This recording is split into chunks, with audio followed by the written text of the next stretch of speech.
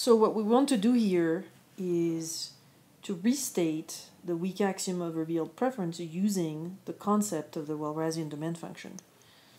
We assume that the Walrasian demand function, the particular bundle X chosen given a particular price system P and given uh, a particular wealth amount W, that this is single valued.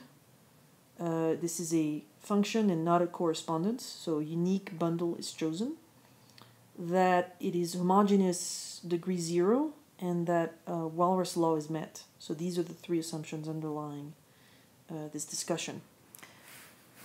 So let's um, assume that the consumer is choosing this bundle here, X, when facing prices P and wealth W, and that uh, facing a different price system, P prime, and given a different wealth amount W prime, the consumer chooses a different bundle X prime.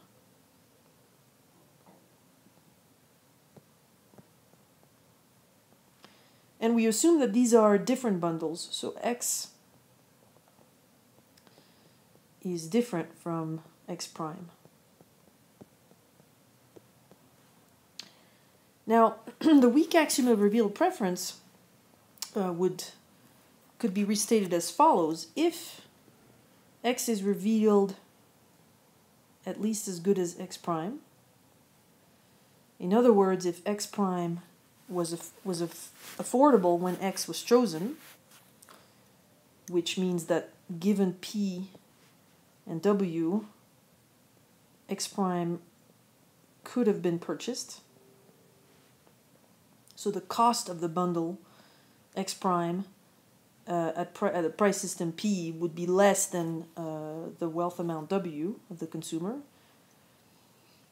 X prime was affordable when X was chosen what uh, the weak axiom of revealed preference requires is that x prime not be chosen when x is affordable. So what, what we want to show here is that when x prime was chosen at prices p prime and given a particular wealth amount w prime, x was not affordable.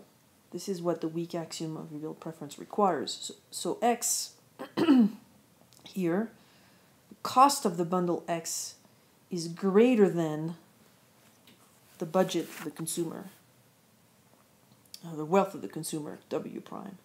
And that is the restatement of the weak axiom of revealed preference in the context of the Walrasian demand function. Now you'll note that this restatement of the weak axiom of revealed preference that we have just established is equivalent to uh, definition 2F1 in the textbook uh, Whinston, and Green.